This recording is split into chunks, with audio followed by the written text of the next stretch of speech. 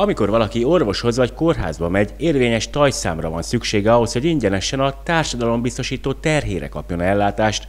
Ha valaki viszont legalább 6 hónapja nem fizetett egészségbiztosítási járadékot, akkor július 1-től már csak bizonyos esetekben látható el így. Egészségbiztosító terhére egészségügyi ellátást nem nyújtható, tehát ő csak fizetős egészségügyi ellátást vehet igénybe.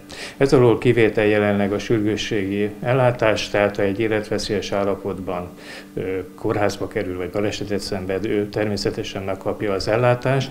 Az más kérdés, hogy ezután is lehetséges, hogy be kell hajtani a bizonyos összeg, vagy be kell fizetni a bizonyos összeg határig ennek az ellátásnak a díját. Vannak, akik maguk döntöttek úgy, hogy nem fizetik meg az egészségbiztosítás havi összegét, ami idén 8000 forint. Sokan viszont nem is tudják, hogy a munkáltatójuk nem teljesítette az erre vonatkozó kötelezettségét. Idén február elején országosan közel 70 ezeren voltak azok, akik vagy akik után legalább 6 hónapja nem fizették be ezt a járadékot. Az ő tajszámuk érvénytelenítését február 12-én kezdeményezte az adóhatóság, így ők nyártól már nem jogosultak az ingyenes egészségügyi ellátásra idehaza.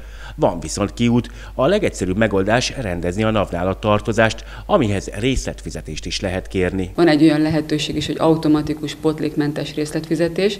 Ennek az engedélyezése az adózók kérelmére történik, naptári egyszer, legfeljebb 12 hónapra, maximum 1 millió forintig engedélyezhet az adóhivatal ilyet. A részletfizetés mellett egyéni elbírálás alapján az adós akár a fennálló tartozás egy részének elengedését is kezdeményezheti az adóhatóságnál, azoknak pedig, akiknek ezt jóvá hagyta a NAV, vagy rendezték az adósságukat, már másnaptól újra él a tajszámuk, vagyis július 1-től sem esnek el az ingyenes ellátástól.